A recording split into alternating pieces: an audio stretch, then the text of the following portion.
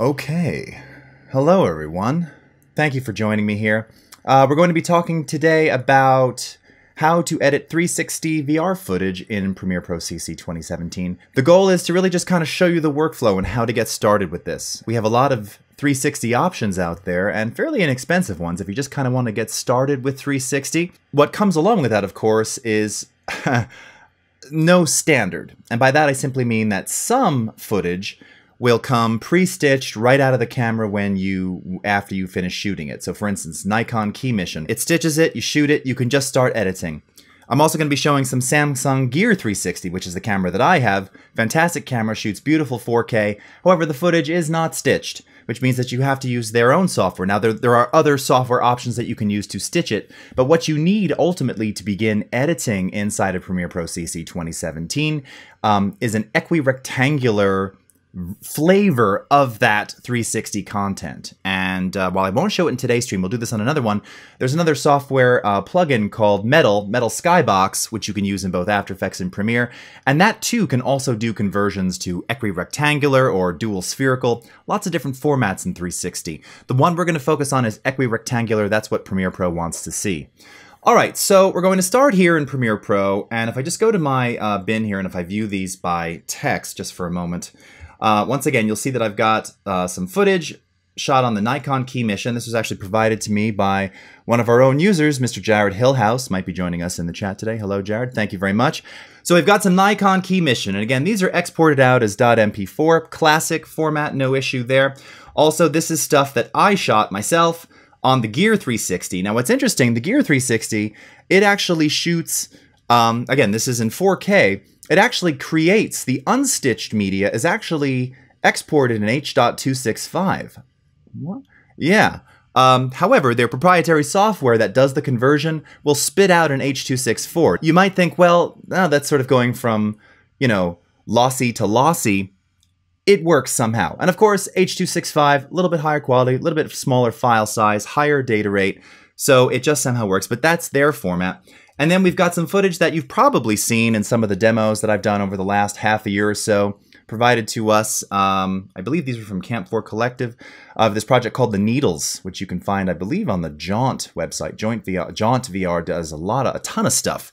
Really one of the early adopters of this. They've done videos for Paul McCartney and just crazy things. This was shot totally high end. The, this footage that I have from them, this is like ProRes 444, um, and it's stereoscopic as well. So huge media, huge footage, 360 VR stereoscopic. So let's just start with the process of creating a sequence by default and what you got to do to actually set up the interface. Because if you just shoot 360 and you drag it into Premiere and you try and make a sequence, you're not you're not going to see 360 right away. So let's talk about that for a second. Okay. Now, the traditional way, of course, would be to go into something like the new item bin here and just make a new sequence. However, I'm going to show you a slightly easier way, but there's a couple of things that you'll want to modify with regard to your program monitor and perhaps in the sequence settings, and I'll make you aware of where those are to ensure that you actually get the best beginning 360 editing experience. So I'm going to take uh, this clip here, let's just go ahead and double click on this and bring this into the source monitor. So incidentally, if I just, if you take a look here, this is what um, a stitched, albeit um, sort of still sort of flattened looking 360 clip looks like. We can just kind of go full screen on this. Don't mind me in the corner there. This was actually a shot of me driving through the desert, captured with the Samsung. You can actually see it right there. It was uh, I had it a little gorilla mounted on my on the side of my door there. So when you bring the footage into Premiere, this is what it's going to look like. Now, the nice thing is we introduced a feature in the 2017 release called Auto Aware VR. Essentially what that does is it automatically knows the attributes of that 360 content and builds the sequence for you based on those attributes. Now, if you want to just verify what it was shot in, you can always go up to the preview area. I, I usually keep this um, minimized here. You can find this in the flyout menu right next to the project panel there. All right, and this will give you all of the attributes of the video in question. So you can see here, this is a true Ultra HD 4K 3840 2160 uh, pixel aspect ratio of 1.0. It's progressive, of course. It's shooting 2997 on that camera, 48K audio, which people have asked me before, how's the audio on a lot of those cameras? You know, surprisingly, not too bad. It's kind of all self-contained, ready to roll. Now, this was stitched in their own software, okay? Now, I would show you that, but it's not ours, and that actually comes with the camera. And a lot of these cameras out there, sometimes they'll stitch it in camera dimension, others they'll come with a separate download. You download their software, and it does the stitching automatically and very quickly. What I can say about the Samsung stitching software is it's really fast, it works brilliantly. Currently, at least as of a few months ago, it was Windows only. So I had to do the stitching on my Windows laptop and then bring those files into Premiere. So that was not the most ideal, but it works. And it works fast and it just really, it's wonderful. All right, so let's go ahead and right click on this and we're simply going to choose New Sequence from Clip. And when I do that, it's going to take the name of the associated clip here. You can see I've got a, a bunch of sequences already down in the timeline. All right, and there's my footage. Now, once again, now we're looking at it in the program monitor here, and you're saying, okay, um, it looks exactly the same. Right, because there's a couple things we have to do before we can actually see the uh, 360 content and be able to kind of move around the sphere. So, first thing you're going to need to do, first thing, is you're going to need to add the 360 viewer button to the program monitor. Now, you, you don't have to. And by the way, the button I'm talking about is this one here, Toggle VR Video Display. Let me just move over so you can also see uh, the, uh, the tooltip. So you need to add this button. That T Toggle VR Video Display button is not there by default. So let's go ahead and click on the plus sign here, which many of you may have never done before. It's the button editor. All right, and this contains all of the various buttons, which at one point in Premiere's history, we used to display all of these inside the program monitor. So the button you want, now again, you're not seeing it here because I've already added it, is this one. Now, if there are buttons that you don't see, or you're going, oh, that's where the loop playback button is, or oh, that's where the global effects mute. I was just doing something recently, I had to show where that button is. To add them, you simply click and drag it down. And you see now that global effects mute has been added to my um, to the buttons in my program monitor. So it's really easy, really simple. And by the way, you have separate uh, button editors for the source and program monitors. Okay, so if you want it in both, you've got to add it to both, and that's by design. So we've added the button. So that's the first thing. All right. Now, just to get into some of the technical sides, again, it's not just about I'm cutting it right away. You need to make sure everything is set properly. Now, I mentioned Auto Aware VR, something that we introduced in the at the beginning of the year in the update to Premiere Pro. But how do we actually see and verify attributes of these clips? Well, if we select the clip here in the time, or just uh, select the sequence, let's go up to the sequence menu for a second and just go into sequence settings. And I want to show you where you can find that stuff. So here, in this case, if you look down, we've got this thing here, VR properties, and you'll see projection, equirectangular. Now you don't have a lot of options here. We only work with equirectangular. It's either none or equirectangular. So if you do not have equirectangular footage, and I say that over and over because as I mentioned at the beginning, there's lots of different 360 formats, okay? We have currently standardized on equirectangular. But if you go into something like Mettle Skybox Converter, you can convert to all different types. So that's the one that you'll want to spit out that Premiere Pro can edit natively. Now you've got a couple of other options here for the horizontal captured view and vertical. Um, again, it will detect these automatically. Typically you'll see these at 360 degrees, 180. And then you have your layout. So for this particular video, it's shot 360, but this is monoscopic, right? So this is not stereoscopic. We don't need 3D glasses to see the 360, okay? Now I'm going to show you at the end here a combination of 360 VR stereoscopic, and when that's the case, you'll see you have two different options. It's either over, under, or side by side. Now, if you've never done stereoscopic editing before, these are sort of very standard terms to relate to different types of how or how they how the stereo footage was prepared and or shot. We're going to be working with over under here. We used to showcase a lot of side by side stuff in the early days. So um pre VR. So now that we've done that, now that we've verified sequence settings, now that we've added the VR viewer button, let's do it, right?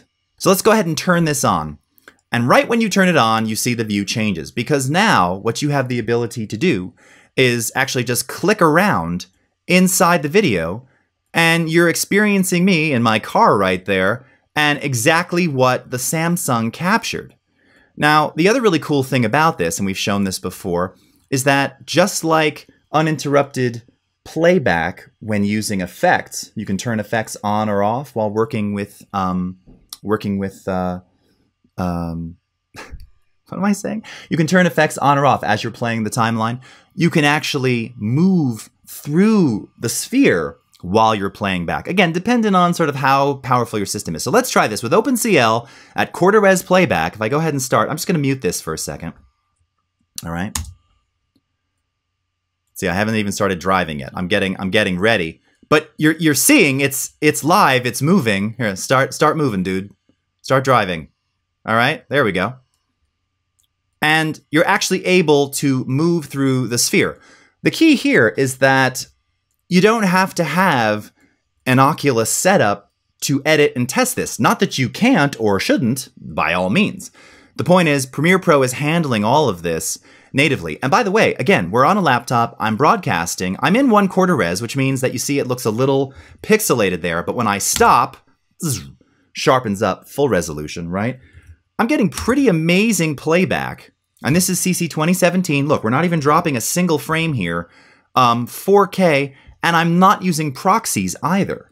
So this is not going to be the performance of every one system. I can also tell you very honestly that when I cut this original piece, you can find actually this video um, on my YouTube channel. When I cut this original piece, I was not getting that kind of playback. So, you know, some days, some days you're hot and some days you're not. Why do computers slow down? Why, I don't know. They just do sometimes. If you want better performance, and let me just see here, Technogap. No, I'm not using proxies. And you know that because if you look at the proxy button, so this is another one of those. Oh, here, just I'll let you see the tooltip here. Toggle proxies. When it's gray, that means we are not using proxy files. So we are actually working off of the native media that was stitched from the camera, okay? Which in this case is MP4, which is H.264, which has to be decoded. So it's not even like smooth to begin with. And yet we're getting good performance. Yours may or may not be the same. We are also at res, and you'll see that because I'm working in 4K, I also have the option to go to even go down to cut at 1 8 resolution.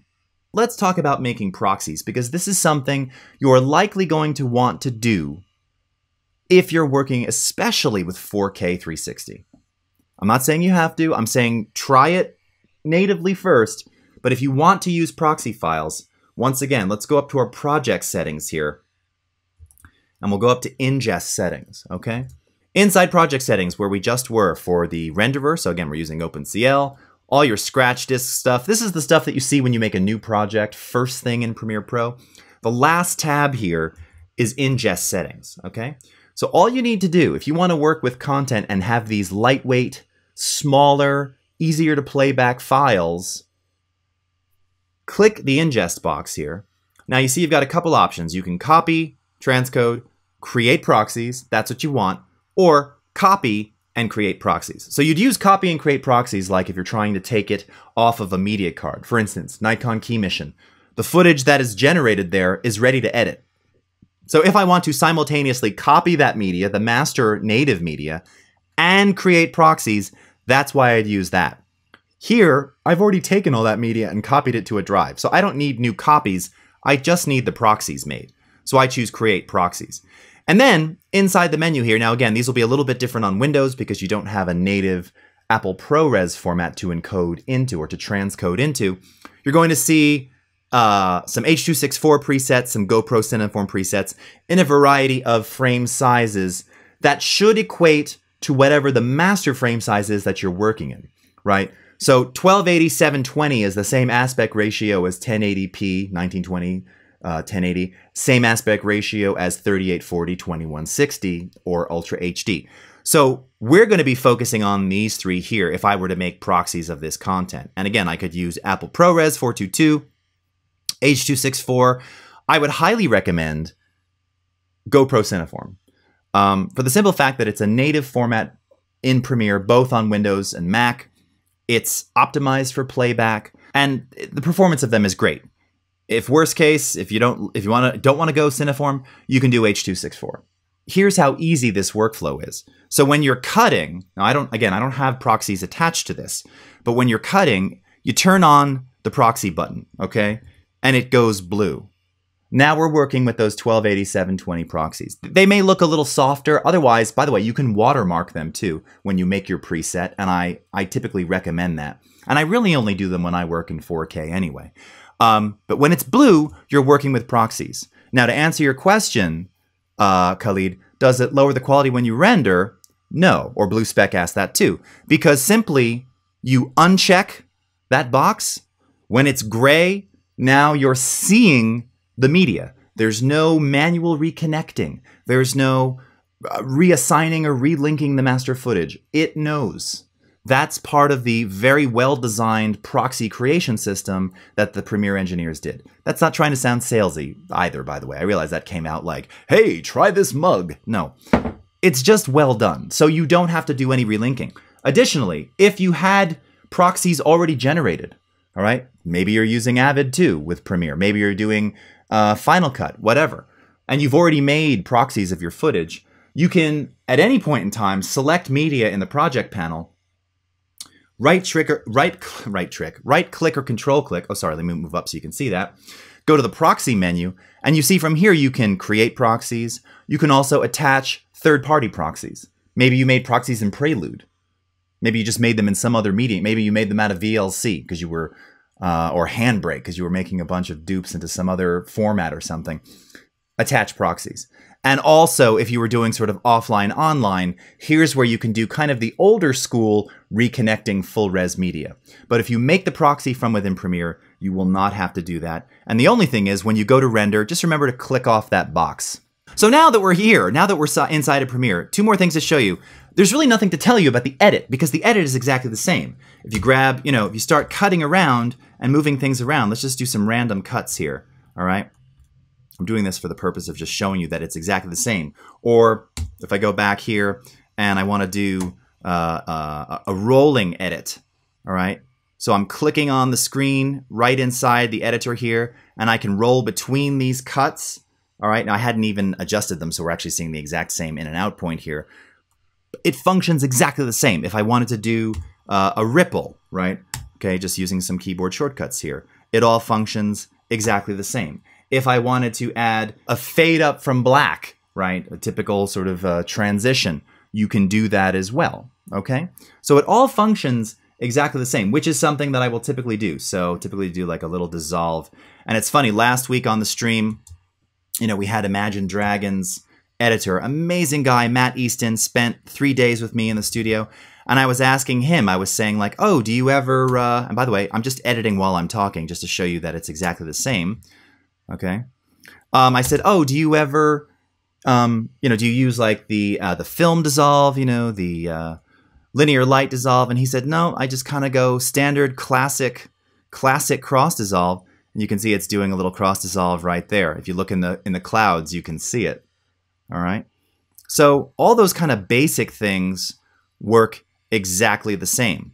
Similarly with color grading.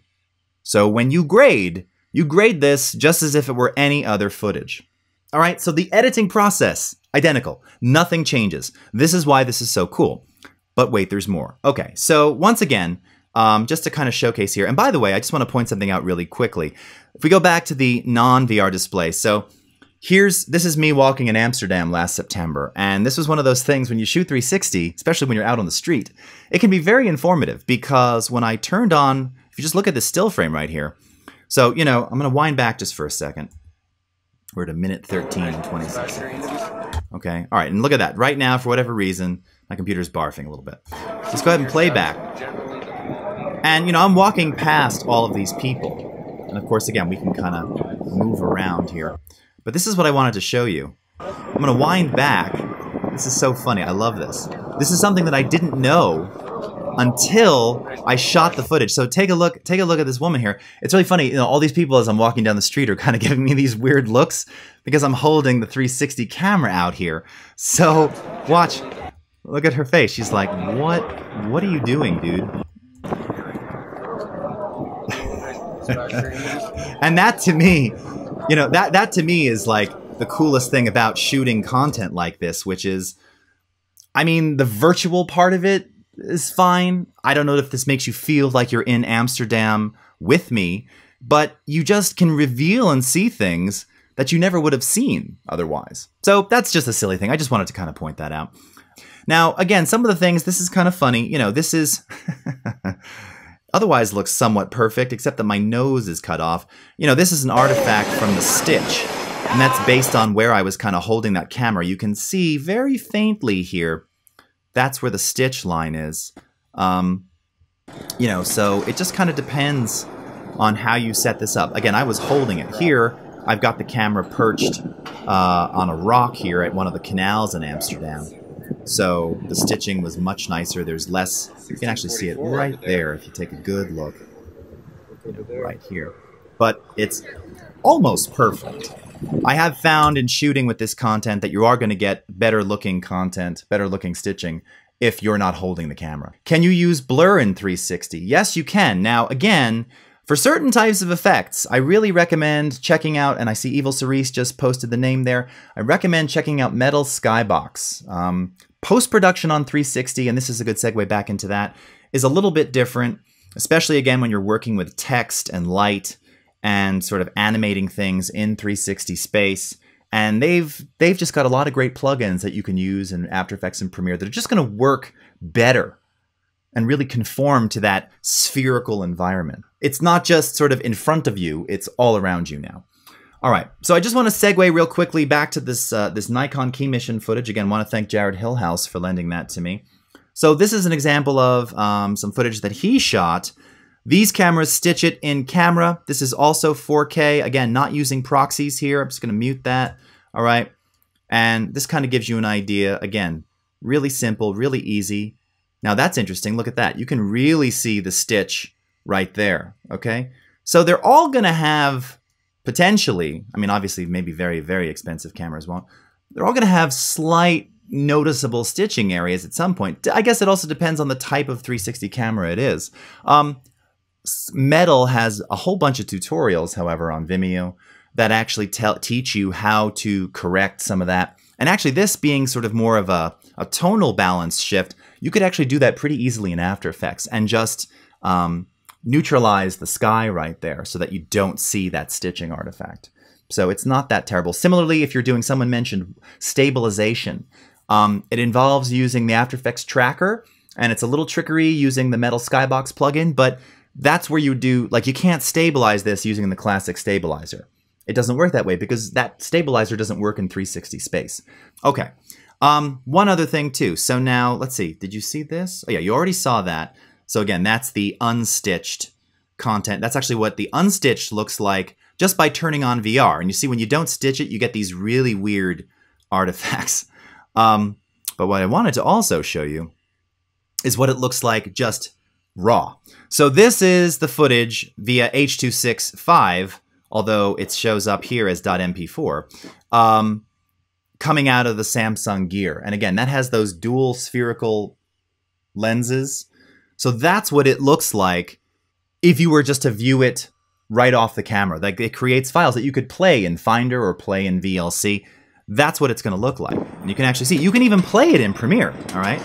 Now, to some degree, I was even thinking that's actually kind of cool in and of itself, but this is again flat. You're not working in that spherical space, okay? But now, let me show you two more things. First, we're going to talk about stereoscopic VR. So now this content, let me just go ahead and pull this up. I'm going to reveal in the project, just so once again I can show you here, and then we'll close that preview. So again, this is 4K by 4K because this is stereo, right? So it's it's it's it's showing up here square because it's a full 3840 2160 for the left and a full 3840 2160 for the right, okay? So in this case at 60 frames per second. And this is also ProRes. So this footage is huge. This footage is also um, is also flat. It's not been graded yet. So this is kind of a good segue into like grading the content as well. Now, in the case of this footage, let me just go back to those sequence settings for a moment. I'm going to select it here. This is where, you know, the only difference now is that you'll see, oh, and here, let me turn off the viewer to once again. So this is what we call uh, over under, right? Side by side would be just like that. It would be like this, over unders like this. Two different formats for uh, creating your stereo 360. And with Auto Aware VR, Premiere Pro already knew that it was stereoscopic over under. Okay, that's all tagged in the metadata of the file. Once again, though, I'll be honest, I pulled in a clip or two from some random 360 cameras. It didn't auto detect. So now you know where to find that and how to modify that. Now, there's another way to do it too. In the flyout menu or the wrench menu or the settings menu, which one is it? The settings menu inside of Premiere. Click on this, you'll see it says VR video.